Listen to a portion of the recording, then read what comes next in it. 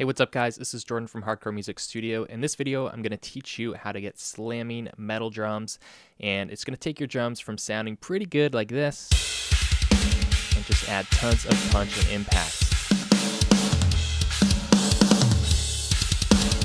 So how we're doing this is using parallel compression. You've probably heard of this on drums and I'm going to walk you through exactly how to do it. But there is a little trick to this that's going to give you way better results, especially for heavy music. So make sure you check out this whole video to see exactly how it works. So all of my drums, they're routed to my main drum bus right here. You can see they're going out drums, coming in drums on my main drum bus. So here's what my main drum bus sounds like.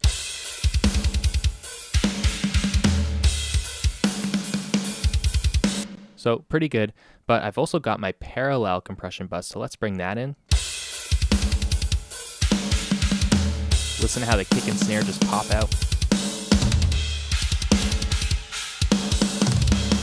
Let me show you what this sounds like on its own. Just mute the reverbs.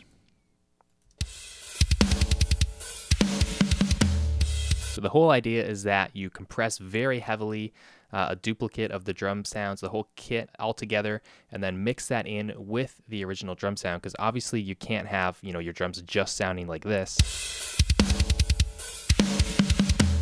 I mean, it's kind of overhyped, kind of ridiculous. But if you blend it into the normal drum sound, then you start to get all the benefits of that extra punch and impact without kind of the crazy, whooshy, swirly effects of all that compression.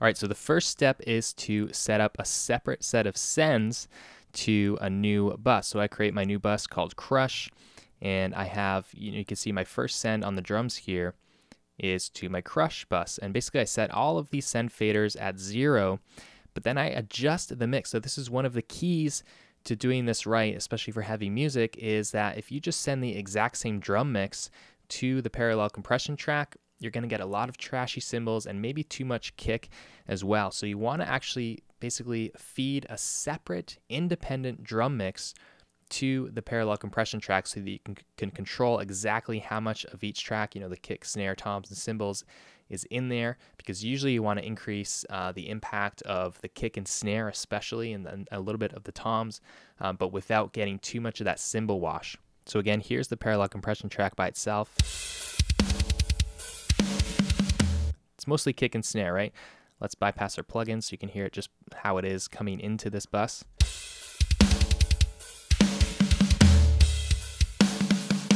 Okay, so we've taken our normal drum mix, we've turned down the cymbals, the rooms, and we've turned down the kick a little bit too, because sometimes that extra low end can make the compressor pump too much. Okay, so we've got that mix going. First thing we're gonna do is compress. So I like this SSL compressor from Waves, but there's a ton of other options that you can use. A lot Slate has some good ones. Basically, almost any compressor that will let you do, you know, an aggressive pumping sound. So check this out. We're using a 10 to 1 ratio, uh, slowest attack here, which is 30 milliseconds, and the fastest release. So you want to go for a relatively slow attack. Um, well, medium to slow attack, and then a fast release, and you just want to crank it high ratio and get uh, a lot of gain reduction. So check this out.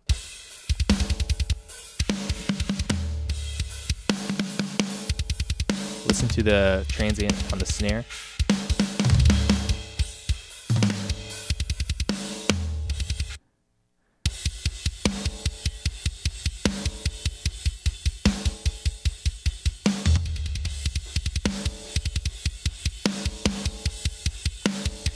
You're going to turn the compression up until you get that smack on the snare and that attack on the kick. You can sometimes go too far when it kind of starts to take away. I'll show you what I mean. Like to me, I'm kind of losing the snare at that point. It's just like, I don't know, it's not really gonna work. Back it off a little bit. There we go. So now we're still maintaining the character and the tone of the drums, but we're getting that front end smack that sounds great. I usually follow that up with some sort of uh, saturation or subtle distortion. In this mix, I'm using the Decapitator. It doesn't have to be this. I've used tons of other options before, like Crane Song Phoenix. Uh, a lot of the new Slate uh, saturation plugins within their mix rack are really good as well. I've been using those. In this case, I'm using a little bit of the Decapitator in E mode.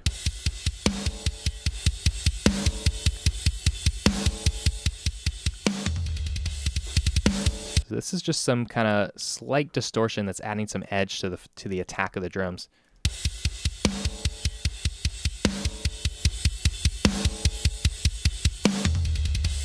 Definitely adding some energy and intensity there. So you've got a compressor, some saturation, and then I usually like to use a clipper just to shave off the extreme peaks that we're getting uh, from this compression and everything. So you won't notice much audible difference here except for watching the meters. They're never going to go above a certain point, and that allows me not to have too many meter spikes uh, feeding into my overall mix bus that's going to affect the overall mix compression. This is really just going to keep the transients contained uh, where I want them to be here. So that's it. It's pretty simple chain for the parallel compression track there. Um, and just to show you what I mean about using a separate mix, now what a lot of people would do is just use the exact same drum mix into the parallel compression bus. But let me show you what would happen if I did that. So let's change the input of this track to be the normal drum bus. See how much cymbals are in there?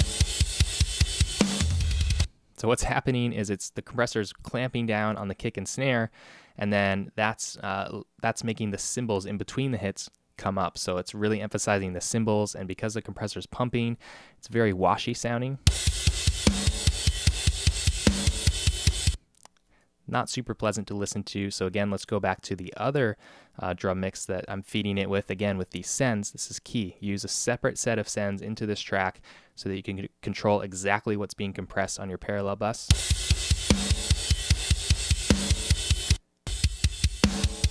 There. I like to leave a little bit of cymbal in so that you're still getting a little bit of energy added to the cymbals too, but overall it's about kick, snare, and toms.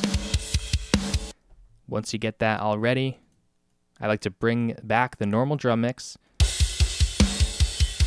put your parallel fader down at zero, and then just start bringing it up.